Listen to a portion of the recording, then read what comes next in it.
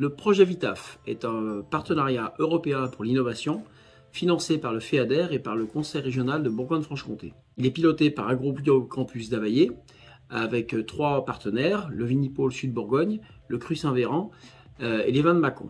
Il y a aussi quatre euh, structures qui nous accompagnent depuis le début, la CAVB, le syndicat des Bourgognes, le PETR Sud Bourgogne et la DDT 71. Les objectifs de ce projet VITAF sont multiples. Euh, le premier est très concret, celui de voir si l'agroforesterie euh, peut, sur long terme, être une réponse efficace face au dérèglement climatique. L'objectif aussi, euh, secondaire, c'est de faire en sorte de redorer l'image de la viticulture en lui permettant d'accéder à plus de biodiversité. Et le troisième objectif, plus pédagogique, et qui concerne tout particulièrement AgroBio Campus d'Availlé, c'est de faire en sorte de former euh, les viticulteurs de demain à de nouvelles pratiques culturelles plus respectueuses de l'environnement. VITAF est issu d'un atelier des territoires euh, mené par euh, le pôle d'équilibre territorial et rural Mâconnais Sud Bourgogne.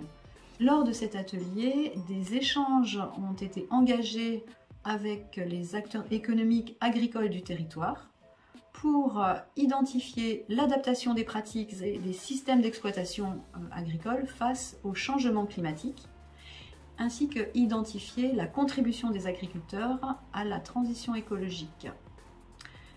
Euh, l'introduction de l'arbre dans la culture de la vigne nous a été proposée et cela a fait consensus. Dès lors, nous avons cherché des pistes d'accompagnement de la collectivité pour euh, engager le projet et les objectifs euh, du partenariat européen pour l'innovation axé sur l'agriculture et la foresterie euh, nous a semblé approprié euh, au projet. Pour répondre aux objectifs cités précédemment, nous avons mis en place trois actions. La première action est donc de proposer un aménagement agroforestier de trois parcelles sur le territoire Mâconnais-Sud-Bourgogne. La première est une parcelle à replanter qui appartient au domaine des Ponseti, l'exploitation du lycée euh, viticole de Davaillé, et qui est en appellation Saint-Véran et en production AB. Pour les deux autres, elles sont gérées par la Chambre d'agriculture. Elles se situent sur la commune de Luni, dans le nord de Mâconnais. La une étant en appellation euh, Macon-Luni et la seconde une vigne de Greffon, hors, hors zone d'appellation, ce qui permet d'explorer un peu plus largement les pratiques hors cadre du cahier des charges.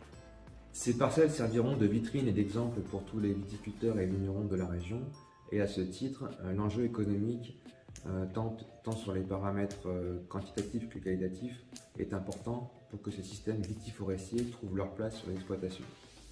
Ce projet a été possible grâce à un ensemble de partenaires hein, que je vais citer euh, rapidement, donc Alter BFC, le CPI Yonne-Nièvre, Arbre et Paysage 32, Vieux-Bourgogne, Agrouf, l'IFV, la Fédération des chasseurs, l'INAO et les chambres d'agriculture de Côte d'Or et du Rhône. Avec euh, bien évidemment des professionnels, des viticulteurs euh, du département de, Saône-et-Loire et plus particulièrement du Mâconnais. Un projet qui a été séquencé par euh, différentes réunions de travail. Il y a eu deux grands événements, donc un premier événement au lancement et un second en octobre 2022 au cours d'une grosse séquence de travail, un séminaire de travail d'une journée où euh, les, différents partenaires que j'ai précédemment cités et les viticulteurs, plus des élèves du lycée euh, d'ABC d'Availlé, ont permis euh, d'élaborer différents aménagements en agroforesterie sur les trois parcelles. Un protocole a également été proposé pour suivre et évaluer les différents paramètres viticoles sur ces parcelles. La seconde action a consisté à rédiger un guide de vitiforesterie à destination des viticulteurs de Bourgogne-Franche-Comté. Ce travail est issu de nombreuses recherches bibliographiques et il a été validé par les conseillers accompagnant le projet.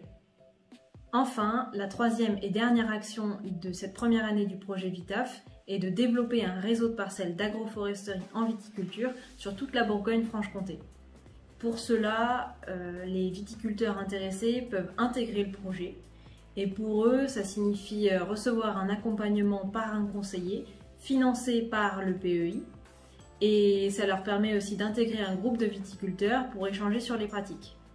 Il y aura également un suivi des parcelles qui sera réalisé pour voir ce qui fonctionne et ce qui fonctionne moins. Et tout ça, ça nous permettra d'acquérir des références et c'est vraiment l'un des objectifs euh, du projet VITAF.